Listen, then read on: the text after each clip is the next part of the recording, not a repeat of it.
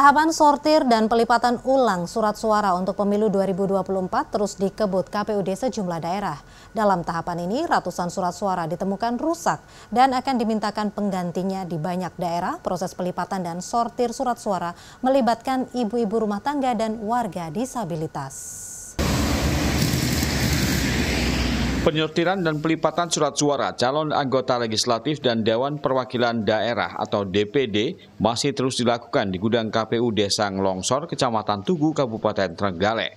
Senin pagi ratusan pekerja memeriksa satu persatu surat suara untuk memastikan tidak ada yang rusak maupun kurang jumlahnya. Jika ditemukan surat suara yang rusak atau kurang, KPU Trenggalek akan meminta ganti ke pihak percetakan. Surat suara caleg DPRD Kabupaten dan DPD RI yang dilipat enam kali ini masing-masing berjumlah 600.512 lembar. Di situ Bondo, di hari kedua pelipatan surat suara, total lebih dari 500 lembar surat suara untuk pemilu legislatif maupun pilpres ditemukan rusak. Proses sortir dan lipat digelar di gudang logistik KPU Kelurahan Mimbaan Panji Situbondo melibatkan 207 perempuan yang 30 persen di antaranya penyandang disabilitas. Mereka memanfaatkan peluang kerja sampingan dengan upah Rp200 per lembar surat suara. Eh, target kita 15 hari sudah selesai. Bismillah. Terus uh, terkait yang kerusakan, Bu, ada berapa? Untuk kerusakan siang hari ini kurang lebih 500 lembar sudah. Jenisnya kerusakan gimana?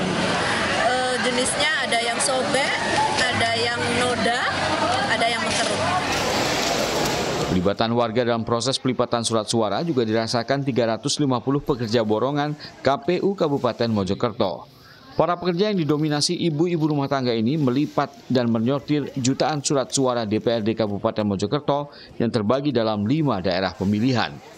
KPU Kabupaten Mojokerto mengaku sengaja melibatkan ibu-ibu rumah tangga yang berdomisili di sekitar kantor KPU untuk menambah penghasilan keluarga. Untuk fokus dua hari ini, ini masih kita masih mengerjakan uh, surat suara DPRD Kabupaten, mm -hmm. yang mana yang kemarin kita sudah satu satu mm -hmm. dan juga sebagian satu dua.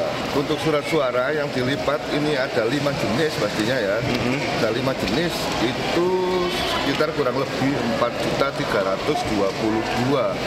140 lembar.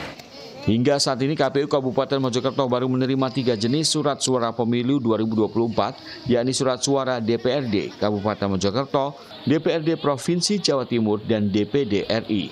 Sementara surat suara DPR RI dan Pilpres belum dikirim. Namun KPU Kabupaten Mojokerto menargetkan penyortiran dan pelipatan surat suara akan rampung dalam dua pekan mendatang. Tim Liputan